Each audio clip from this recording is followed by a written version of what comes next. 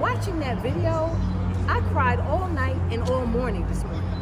Every time I thought about him yelling for his mother, he was a couple of feet away from home and he wasn't reckless driving.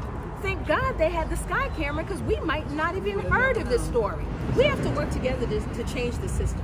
We have to. I don't care if we don't like one another. I don't care if we have small differences. I don't care. At this point, this is what we need to focus on because I don't want to see another video.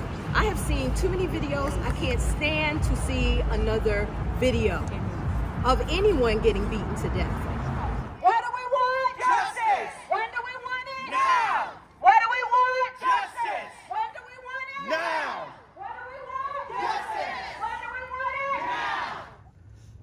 his life was snuffed out. So we can't be silent. We can't let this be, be another day in the city of Charlotte or anywhere else. Mm. We have to be intentional about showing love. And as I always say, love is an action word.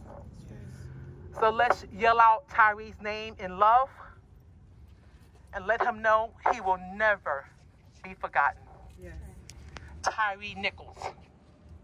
Tyre Nichols. Tyre Nichols. Tyre Nichols. Tyre Nichols. Tyre Nichols. Tyre Nichols. Tyre Nichols. Tyre Nichols. Tyre Nichols. Tyre Nichols. Tyre Nichols.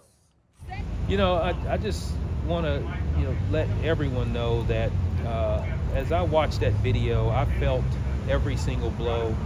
Uh, it hurt uh, to see that, not just because we're talking about a human being uh, and someone to be treated uh, in that fashion and then to be totally disregarded and, and shoved to the side like trash.